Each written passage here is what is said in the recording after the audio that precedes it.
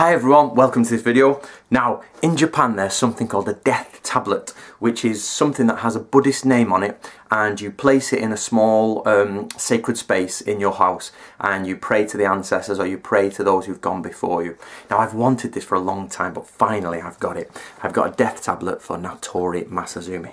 Let me open this for you. So just shift that, open that.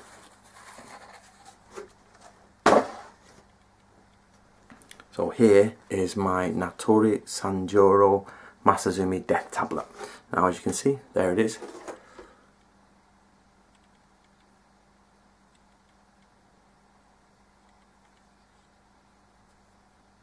So this is his Buddhist name down here. On the back we have the date he died which was 1708 and it was May the 5th and we have Natori Sanjuro Masazumi. Now what we'll do is wherever I move in my life or wherever I go, uh, this will come with me and we have the death tablet for him. Uh, of course, you know, um, where I go, it will go. But the idea is just to say thank you to uh, Natori for writing everything down and keeping everything together so um, so we can interpret it today. Hopefully one day I'd like to get these for people and if people want them we could possibly get them on a trip to Japan. But I'll, I'll uh, deal with that when I go next year. But just so you can see it guys, there it is.